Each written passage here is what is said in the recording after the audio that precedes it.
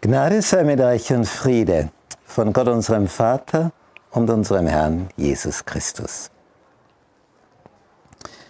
In unserer Betrachtung über den Exodus der Israeliten, was eine Parallele beinhaltet mit unserem Exodus, wenn Jesus wiederkommt und seine Engel aussendet, um uns einzusammeln, da kommt auch zu einem großen Exodus, zur größten Evakuierungsaktion aller Zeiten. Und bei so einer Evakuierungsaktion sind aber nicht alle dabei. Da wird also ein Unterschied gemacht und das ist es, was wir hier in der fünften Plage einer Viehseuche in Ägypten erleben. Dem Pharao wurde wieder einmal gesagt, er hört es jetzt schon zum x-ten Mal, lass mein Volk ziehen, damit es mir dient. Das wurde übrigens die Hymne der Schwarzen in Nordamerika, in den USA. Let my people go. Das war eine hochpolitische Botschaft. Denn das Weggehen, das Rote Meer war für die Bevölkerung von Afrika, die jetzt nach USA transportiert worden war, der Mississippi. Wer da drüber kam, der hatte es geschafft. Und dieses Let My People Go, dieser Gospel-Song, das war also eine rebellische Botschaft an die Regierung der USA. Lass uns gehen, lass uns ziehen. Die haben also mit Vorliebe das gelesen und, und gesungen. Und die Weißen haben das zuerst gar nicht richtig mitgekriegt, was da drinnen steckt, was das für eine Symbolik hat. Lass mein Volk ziehen. Und hier aber der wesentliche Punkt, damit es mir dient. Und dieses Dienen wird ja auch einmal das Besondere sein, wenn wir wie die Engel sein werden und im Weltall uns bewegen können. Nicht nur auf einem klitzekleinen Planeten. Ein Universum eröffnet sich für uns. Das ist eine ganz andere Dimension. Das ist also so, wie wenn du zuerst nur eine Ameise bist und um den Ameisenhaufen herumkrabbelst und dann hast du einen ganzen Planeten Erde. Und das wäre noch zu wenig im Vergleich. Wir sind also, wenn wir so auf unsere Dinge schauen, das ist wichtig und das muss ich jetzt machen, dann krabbeln wir wie die Ameisen herum. Das ist mir mal so bewusst geworden bei der Landung eines Flugzeuges, wo ich drinnen saß. Und du fliegst da, da waren wir über Istanbul und da merkst du da unten, was sich da alles tut. Die Autos fahren hin, die anderen fahren daher, da krabbeln die Menschen herum und da. Alles ist in Bewegung. Ja und? Was ist es letztlich? Alles nur ein Kommen und Gehen, bis sie im Grabe ruhen. Aber was zählt dann wirklich für die Ewigkeit? Und was jetzt hier das Besondere ist in diesem Aspekt, es wird die Hand des Herrn, wird angekündigt, über alles Vieh auf dem Feld kommen. Und jetzt werden die Tiere angeführt, die es damals gab. Pferde, Esel, Kamele, Rinder, Schafe. Und das ist ihr Besitz, das ist ihr Wert. Je mehr äh, Pferde, Kamele, Rinder, Schafe, Esel du hast, desto reicher bist du. Man sieht das ja bei Hiob, als da angeführt wird, was hat er? Ja, was hat er? Tiere hat er. Und als er keine Tiere mehr hat, ist er arm. Also hochinteressant, wenn man das heute so fragen würde, na, wie viele Tiere hast du denn? Ja, vielleicht eine Katze oder einen Hund und dann ist schon ziemlich aus. Vielleicht noch ein Kaninchen und ein Meerschweinchen, wenn es viel ist. Also wir sind arm im Verhältnis zu einem Hiob. Und jetzt kommt genau über diesen wertvollsten Besitz eine Seuche. Seuche, das verstehen wir jetzt auch schon viel besser nach den letzten dreieinhalb Jahren. Und wenn das jetzt über die Tiere kommt und die nach der Reihe da liegen und sterben, ich meine, das sind, das sind ja Werte, die da kaputt gehen, abgesehen davon, dass das Lebewesen sind. Aber jetzt kommt noch der Vers 4 in Kapitel 9 des zweiten Mosebuches. Und der Herr wird einen Unterschied machen. Ja, was für einen Unterschied? Einen Unterschied machen zwischen dem Vieh der Kinder Israels und dem Vieh der Ägypter, sodass von allem, was den Kindern Israels gehört, wie viel sterben wird? Kein einziges. Ach, das ist, also nicht nur, dass die ein bisschen besser dran sind, da sterben nur die Hälfte, kein einziges. Und da kommt auch wieder dieser Erlösungsgedanke durch. Wenn du errettet wirst, wirst du völlig errettet, nicht nur irgendwie so halb. Und wenn du nicht errettet wirst, dann wirst du nicht errettet. Es gibt nur entweder oder, nichts mehr mittendrin. Dieser Unterschied, wenn wir jetzt in die Offenbarung hineinschauen, das ist ja immer unsere Parallele zu diesen Plagen, so haben diese Plagen eine Vorstufe, nämlich die Posaunengerichte, die wir in Kapitel 8 der Offenbarung finden. Und bei diesen Posaunengerichten, im Unterschied zu den Plagen, die dann folgen, ist noch etwas beigemengt. Da gibt es noch Gnadenzeit bei den ersten vier Posaunen. Und immer ein Drittel geht da zugrunde. Hier bei den Ägyptern ist also so, das Vieh der Ägypter stirbt komplett und vom Vieh der Israeliten stirbt nichts. Und wenn wir dann zu den Plagen in der Offenbarung kommen, das ist dann auch eine hundertprozentige Vernichtungsaktion. Bei den ersten vier Plagen werden die Elemente berührt, die uns besonders betreffen. Die Landfläche, die Meeresfläche, die Wasserquellen und die Luft, der Himmel. Und die werden zu jenem Drittel vernichtet in den ersten vier Posaunen. Darum heißt ja auch die erste Engelsbotschaft, betet an den, der was gemacht hat? Himmel, Erde, Meer und die Wasserquellen. Genau die vier Bereiche, die in den ersten vier Posaunen getroffen werden. Aber wenn man dann zur fünften kommt, dazwischen haben wir etwas. Da heißt wehe, wehe, wehe. Und in der fünften Posaune,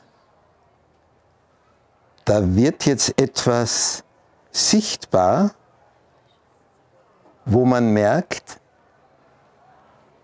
dass ein Unterschied da ist. Nämlich, da kommen Heuschrecken, das ist die Symbolik, das sind die bösen Engel, die losgelassen werden auf die Menschen. Und in dieser Art und Weise, wie die da in Kapitel 9 ab Vers 1 losgelassen werden, führt das dazu, dass diese Heuschrecken Vollmacht haben. Und zwar heißt es in Vers 4, es wurde ihnen gesagt, dass sie dem Gras der Erde keinen Schaden zufügen sollen. Das sind nicht wirklich Heuschrecken, das sind nur die Symbolik.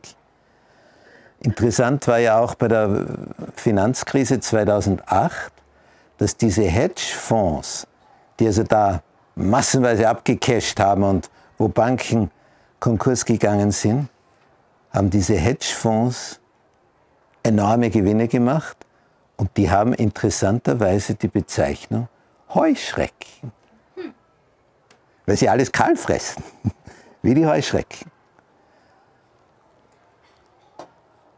Und jetzt kommt's. Sie sollen also nicht dem Gras etwas antun, noch irgendeinem Grünen, noch irgendeinem Baum, sondern nur den Menschen, die das Siegel Gottes nicht an ihren Stirnen haben. Also das wäre gut, wenn man das hätte, das Siegel Gottes. Dann gibt es den Unterschied. So wie damals beim Vieh in Ägypten, der Unterschied, entweder du bist versiegelt oder du bist nicht versiegelt. Und es gibt nicht halb versiegelt. Das ist ein ganz wesentlicher Punkt. Entweder oder. Und diese Versiegelung geschieht durch den Geist Gottes. Naja, dann, dann wäre gut, komm, Geist Gottes. Wie, wie, wie kommt der? Ja, nicht indem man sagt, komm, weil das wäre dann so wie bei den Märchen, Goldtaler regnet vom Himmel. Das ist nicht die Wirklichkeit. Aber er kommt wirklich. Wo, wo kommt er? Bei wem kommt er? Wie geschieht das? Ja, indem du diesem Geist die Zeit einräumst, zu kommen. Wir sind in unserem Modus wie der, wie der Hamster in seinem Rad drinnen und je schneller sich der Hamster bewegt, desto schneller dreht sich das Rad, kommt er schneller vom Fleck? Natürlich nicht. Er ist nur in einem Strudel der Ereignisse drinnen. Und wir Menschen sind also in unserem Modus, dim, dim, dim, dim, dim, dim, dim, und sagen, Geist Gottes, komm zu mir, dim, dim, dim, dim, dim. So kommt er nicht. Da braucht es ein Innehalten, ein Stille werden, ein sich zurückziehen, das Wort Gottes öffnen. Jetzt bin ich bereit. Und der weiß genau, ob du bereit bist. Oder ob du nach fünf Minuten sagst, so, das war jetzt schon lang genug und jetzt gehe ich wieder an meinen Modus ran, an meine Aktionen. Wie, wichtig ist mir das Ganze?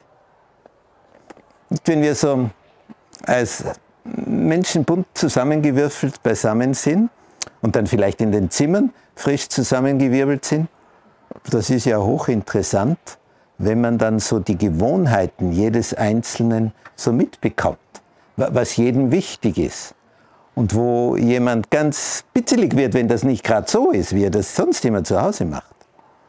Und man merkt dann, ah, das ist dem wichtig, das ist der Person wichtig, die ist mir großzügig, ja, die andere ist wieder ganz empfindlich, wenn irgendetwas geschieht, sehr nervös, wenn das nicht genau so ist. Und da merkt man dann unsere unterschiedlichen Charaktere. Der Geist Gottes hat jetzt die Möglichkeit, zu jedem unterschiedlichen Charakter zu kommen und die Charaktere entsprechend nach göttlichem Gedankengut zu formen. Aber dazu braucht es Zeit. Zeit ist das Element, wo ich festgestellt habe bei Sterbenden, dass sie das am meisten bedauern, was sie mit ihrer Zeit gemacht haben. Weil sie auf einmal merken, die kann ich nicht mehr zurückholen. Die ist jetzt vorbei. Jeder Tag, jede Stunde, das, was ich mache, dann ist es weg. Und in keinem anderen Bereich sündigen wir mehr als in Bezug auf Zeitverschwendung.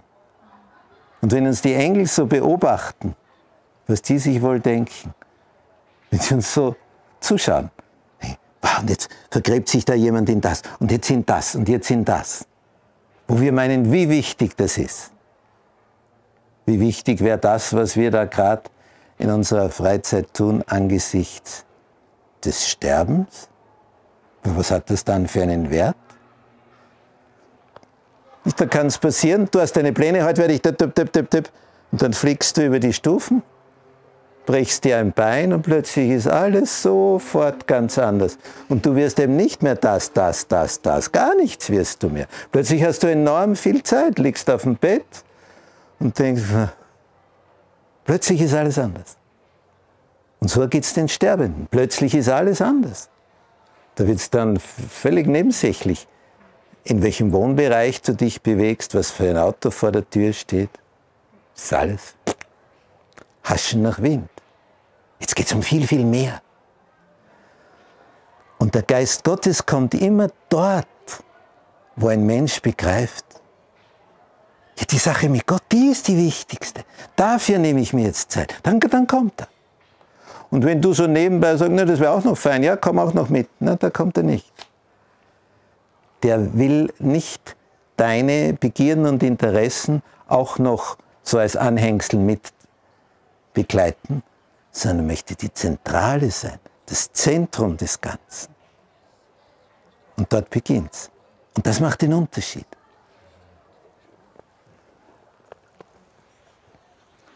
Wir brauchen uns ja nur selber so ein bisschen analysieren, wenn wir, jetzt abgesehen von so einer besonderen Freizeit, aber wenn wir dann wieder in unserem Hamsterrad drinnen sind, wofür nehme ich mir Zeit?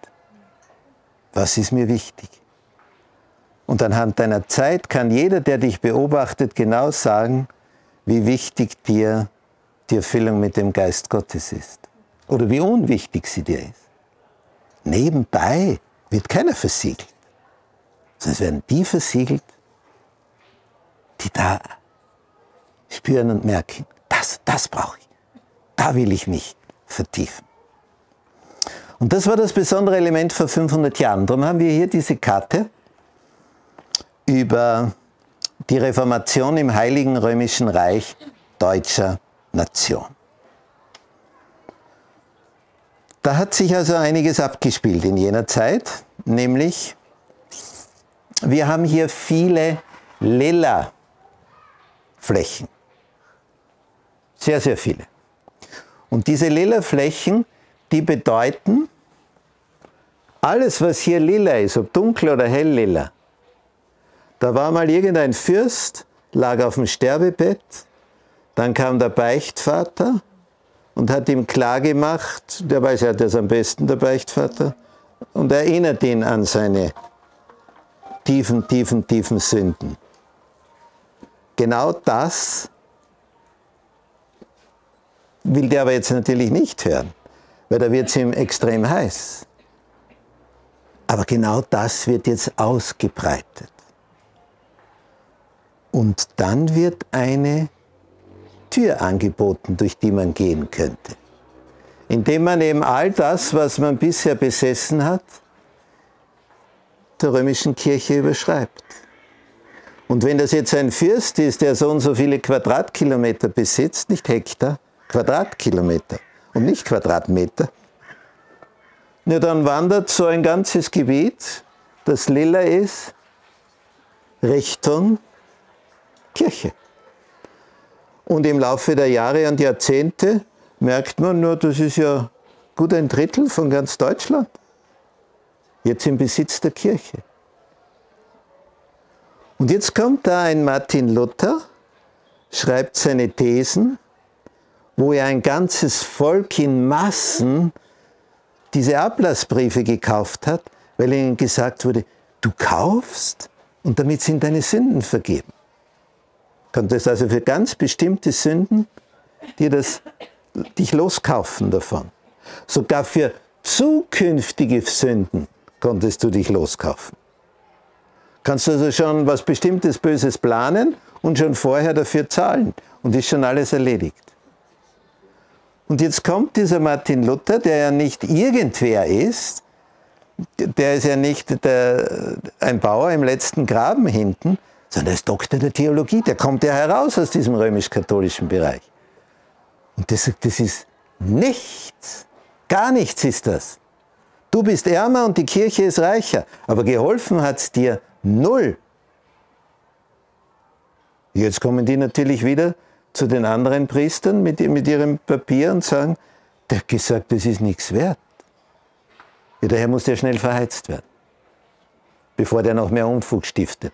Oder er korrigiert sich, sagt bitte um Entschuldigung, alles, was ich gesagt habe, widerrufe ich. Das wäre natürlich noch besser. Und wenn dann Martin Luther sagen würde, kauft Ablassbriefe, na, davon haben sie geträumt. Aber vergebens. Das kam nicht. Und in dieser Phase, wo also so eine aufgeheizte Stimmung ist, wo dir gesagt wird, wie du deine Schuld los wirst, kommt einer und sagt, das hilft nicht. Jetzt ist das Volk völlig irritiert. Und genauso werden wir es in der Endzeit erleben, wenn das Klima, die Klimadebatte so angeheizt wird, dass für alle klar ist, wir gehen unter, der Planet geht unter, wir sterben alle, was können wir nur machen? Ah, zum Glück gibt es jetzt als Lösung, als Schutzfunktion den Sonntag. Und dann gibt es da jetzt ein Grüppchen, die sagen, na, na, gerade das schützt uns nicht. Denn damit reizen wir Gott zum Zorn. Es ist der Sabbat. So steht es in der Bibel geschrieben. Jetzt sind die Leute völlig irritiert. Jetzt wird dir gerade was angepriesen und dann sagt jemand anderen, das ist es nicht. Und dadurch wird das so ein Thema, weil es ja um Rettung des Planeten und um Rettung von den Menschen geht, von dir geht. Und darum hat das damals solche Wellen geschlagen. Als diese 95 Thesen gedruckt wurden und gedruckt, gedruckt, wie da die ersten 1000 von, von der Presse kamen, das war ja noch sehr primitiv, die, die, kaum kam das raus, das ist, da hast du auch die, die, die Druckerschwärze umgehabt, war das schon weg. Also so wie sie es rausgegeben haben, so wurde das Ganze gekauft. Und die Leute haben studiert. Und sich gefragt, ja, wozu machen wir das dann? Was, was gibt es alternativ? Es entsteht ein Unterschied zwischen dem, was zählt und dem, was nicht zählt. Aber um darauf vorbereitet zu sein, braucht die Versiegelung mit dem Geist Gottes. Wer versiegelt ist, der steht unter dem Schutz. Und wer nicht versiegelt ist, steht nicht unter dem Schutz. Und da kannst du Wissen haben ohne Ende. Da kannst du die Bibel auswendig können.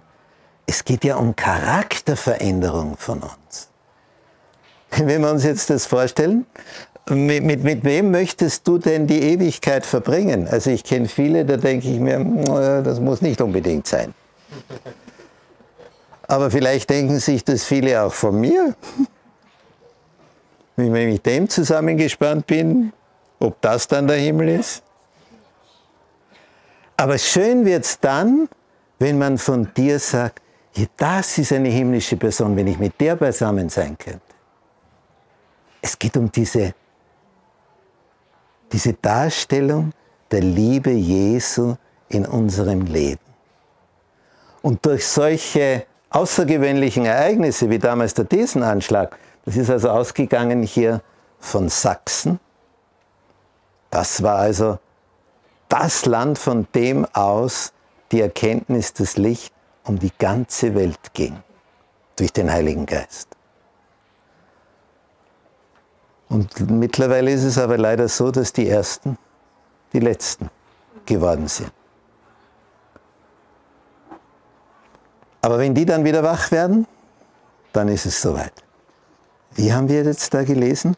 In der Offenbarung bei der fünften Posaune mit den Heuschrecken, die da quälen.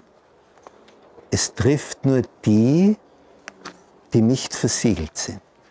Nur die trifft. Die anderen nicht. Es geht also nicht um irgendetwas, dass ich mich da auskenne oder dies oder jenes weiß, sondern das ist der Kernpunkt. Und es wird in dem Ausmaß für dich entscheidend und spannend, wenn es um deine Zeiteinteilung geht. Was hat bei dir Priorität? Was ist dir wichtig? Beobachte deine Zeit, was du in deiner Freizeit machst, worauf du dich stürzt, was dir wichtig ist. Und dann vergleich das mit der Zeit, die du für Gott aufwendest. Und dann kennst du dich aus. Dann weißt du, wo du stehst. Und wenn du dann ein Schockerlebnis hast, das ist gut. Weil dann kannst du etwas korrigieren. Schlimm ist, wenn du denkst, das passt alles schon so. Weil dann kommt der Schock, wenn die Engel bei dir vorbeifliegen. Und du dich wunderst, warum die dich nicht mitnehmen. Das ist ja dann der Punkt. Jetzt stell dir vor, die kommen zur Evakuierung und du siehst, der wird mitgenommen, die wird mitgenommen und du wirst zurückgelassen. Der du aber wusstest, worum es geht. Das ist ja die Tragik. Wenn du keine Ahnung hast von den Dingen, naja, das ist kein Wunder. Aber wenn du so knapp dran bist, das ist immer so fasziniert bei diesen Zahnrädern, dass du ein Antriebsrad und das andere, das eigentlich überhaupt keine Kraft hat, klingt sich ein aber weil das eine sich bewegt, wird das andere mitbewegt.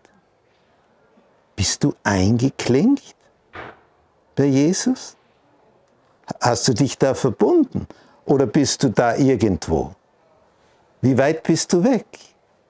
Da wäre die Kraft. Aber die Kraft hilft nicht, wenn du nicht eingeklickt bist. Und ob du jetzt einen Millimeter weg bist oder einen Kilometer, es ist keine Kraftübertragung. Es muss völlige Verbindung sein. Dann bewegt sich was. Weil er dich bewegt.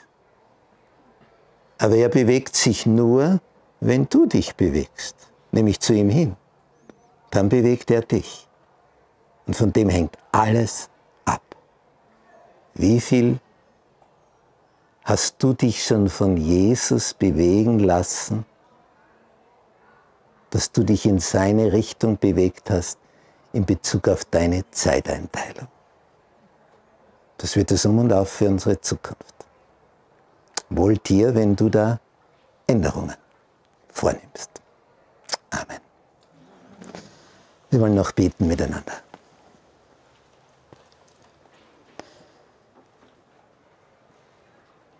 Danke. Danke, unser liebevoller Papa im Himmel, dass du uns ein Wort, dein Wort, in so einem kraftvollen Umfeld wie dem Wort Gottes der Bibel hinterlassen hast, dass wir dadurch festen Boden unter die Füße bekommen können. Wenn wir die Zeit dafür aufbringen, die dafür entscheidend ist. Denn was uns wichtig ist, dafür haben wir immer Zeit. Und wir müssen uns schämen, wenn wir daran denken, was uns alles wichtig ist. Hat es noch einen Wert im Lichte der Ewigkeit?